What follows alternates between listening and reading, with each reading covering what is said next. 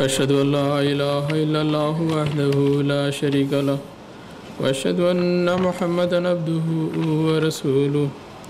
أما بعد، فأعوذ بالله من الشيطان الرجيم. بسم الله الرحمن الرحيم.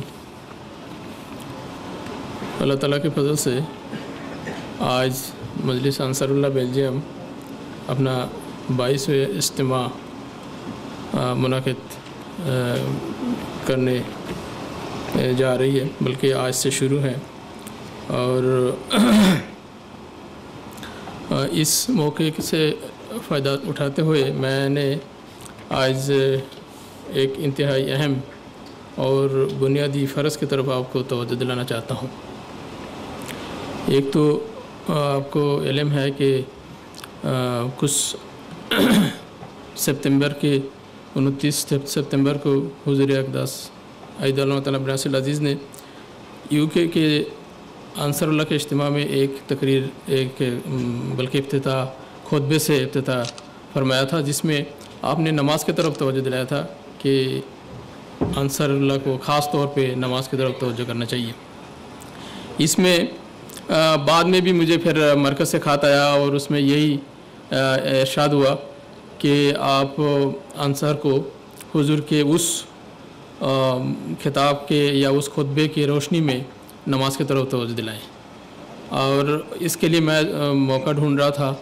تو اللہ تعالیٰ کے فضل سے یہ اجتماع کا موقع ہے۔ میں نے انتظامیہ سے عرض کیا تھا کہ مجھے پھر تھوڑا ٹائم دے تاکہ بہت زیادہ باتیں تو نہیں ہو سکے گی، لیکن جہاں تک ممکن ہے میں تھوڑا سا آپ کو اس خطبے سے بعض باتیں آپ کو ضرور سناؤں۔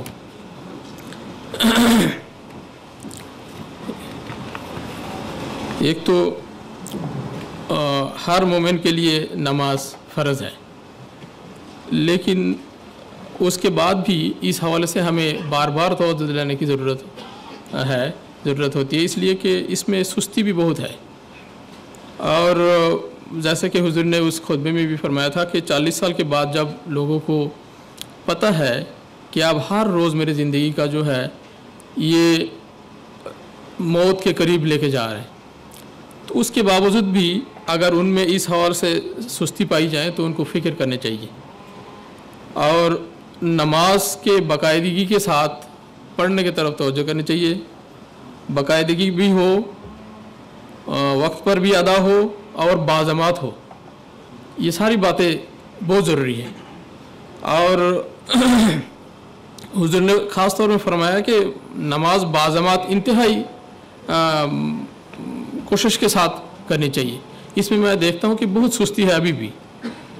انتہائی کوشش تو دور کی بات، ہم اگر چھوٹی چھوٹی کوئی مسئلے آ جائیں سامنے تو اس کو ہم نماز کو ترک کر دیتے ہیں، مسجد میں جانا ہم سمجھتے ہیں کہ ہم اب ہم نہیں جا سکتے۔ حالانکہ کوشش اگر ہو، حضور نے تو فرمایا انتہائی کوشش کیا جائے تاکہ مسجد میں پہنچا جائے نماز کے لیے۔ اب حضور نے یہ بھی فرمایا کہ اگر آپ کو آپ کے گھر کے قریب مسجد نہیں ہے یا نماز سینٹر نہ ہو، تو اگر کچھ لوگ اگر قریب قریب احمدی رہتے ہیں، تو کسی ایک گھر میں بھی نماز کا انتظام کیا جا سکتا ہے۔ اور اس جگہ بھی بعضمات نماز کا انتظام کرنا چاہیے۔ اگر کوئی انتظام نہ ہو، تو پھر اپنے گھر میں بچوں کے ساتھ بعضمات نماز پڑھ لیا جائے۔ بعضمات نماز کا ہر کوشش کی جائے کہ کسی طرح میس نہ ہو اور بعضمات نماز کے جو پریکٹس ہے اس کو جاری رکھا جائے تاکہ آپ اگر گھر میں بھی بعضمات پڑھ رہے ہوں تو آپ کے بچوں میں بھی بعضمات نماز کی اہمیت ان کو بھی سمجھ آئے گی۔ عبادت جب انسان کے پیدائش کا مقصد ہے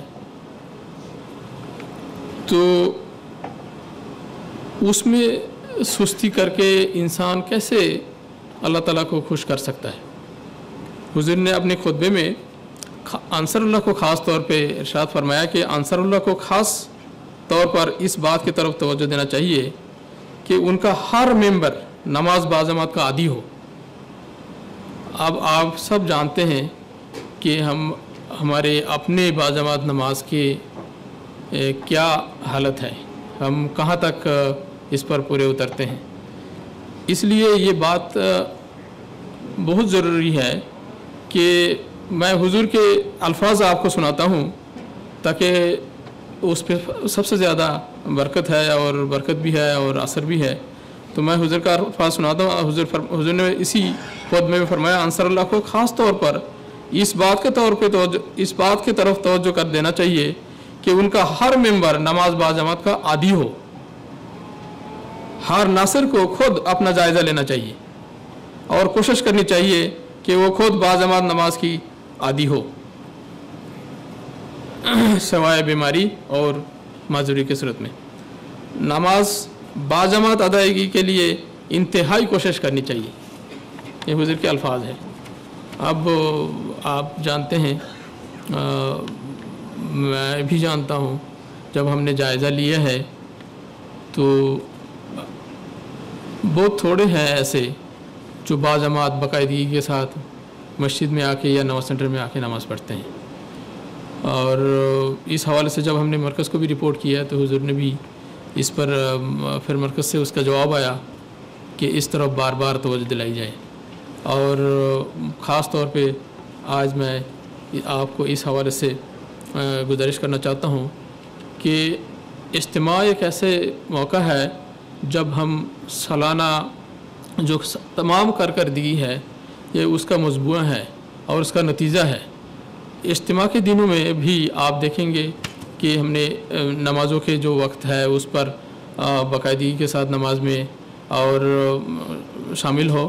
اور اس کے علاوہ نماز درمیان میں ہم اجتماع چھوڑ کے باہر اسپورٹس کے لیے بھی جائیں گے۔ لیکن دوبارہ نماز کے لیے پھر ادھر ہم آئیں گے اور اس میں سب دوستوں سے میری گزارش ہے کوئی درمیان سے چلے نہ جائیں بلکہ نماز پڑھ کے مغرب عشاء پڑھ کے پھر جائیں اس سے پہلے نہ جائیں۔ آ, کسی مجلس کے آداب میں یہ شامل ہے بلکہ قرآن کا حکم ہے کہ مجلس کے آداب میں یہ شامل ہے کہ مجلس میں جب آپ آتے ہیں تو آپ کھسے کے نہ جائیں پیچھے سے چلے نہ جائیں بلکہ اجازت لے کے جائیں۔ اگر آپ آئے ہیں اپنی مرضی سے خوش آمدید آپ آئے ہیں اب آپ کو ہم ویلکم کرتے ہیں۔ لیکن جاتے ہوئے ضرور ایسے ہی نہ چلے جائیں جیسے کوئی ذمہ داری نہیں ہے۔ آپ جاتے ہوئے بھی اپنے جیم صاحب سے بھی یا جو انتظامیہ ہیں ان سے اجازت لے کے جائیں۔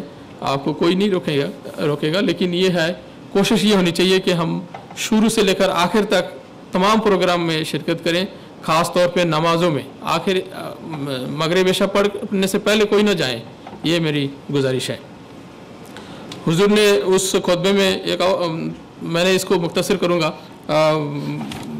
کچھ اور باتیں بھی تھیں میں نے، لیکن اس اس بات کو اب نہیں دہراؤں گا۔ صرف یہ ایک دو حضور کے اس خطبے کے اقتباسات پڑھ کے میں اپنا اس گزارش ساتھ کو ختم کروں گا۔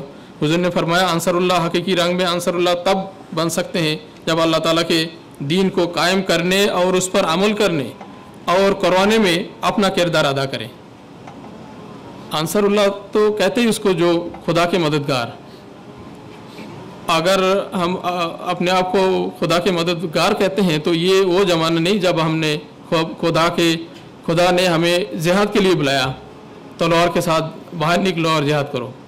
اس وقت تو مسیم وسلم نے آیا ہے کہ مسلم نے فرمایا کہ میں تو جو تلوار کا کام ہے دعا سے کرنا ہے۔ تو اصل دعا تو نماز ہے۔ اگر نماز میں ہی ہم نہیں آئے تو ہم خدا کو کیا مدد کر رہے ہیں؟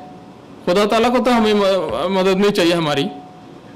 اگر دنیا میں اسلام کو قائم کرنے کے لیے مسیم السلام نے تشریف لائے ہیں اور ہم ان کے مددگار ہیں، تو اس نماز کا اگر ہم نہ قائم نہ کر سکے، اس دعا جس ہتھیار سے مسیم السلام نے پورے دنیا کو فتح کرنا ہے،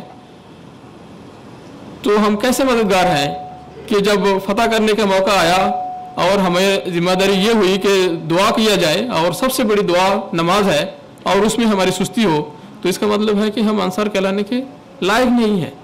اس میں تو یہی حضور نے اس میں بھی فرمایا کہ انصر اللہ حقیقی رنگ میں انصر اللہ تب بن سکتے ہیں جب اللہ تعالیٰ کے دین کو قائم کرنے اور اس پر عمل کرنے اور کرانے میں اپنا کردار ادا کریں حضور فرمایا کہ اگر اللہ تعالیٰ کی عبادت جو انسان کی پیدائش کا مقصد ہے، اس پر عمل نہیں کرتے ہیں اور جن کے نگران بنائے گئے ہیں، ان کو عمل، ان سے عمل نہیں کرواتے یا عمل کروانے کی کوشش نہیں کرتے اور اس کے لیے اپنے نمونہ پیش نہیں کرتے، تو صرف نام کے آنسار ہے پھر، وہ حقیقی آنسار تو نہیں ہے نا؟ اس کا جو جہاد ہے، یہ دعا کے جہاد ہے، تلوار کے جہاد نہیں ہے۔ اور دعا کے جو اصل ہتھیار ہے، اصل موقع ہے، وہ نماز ہے۔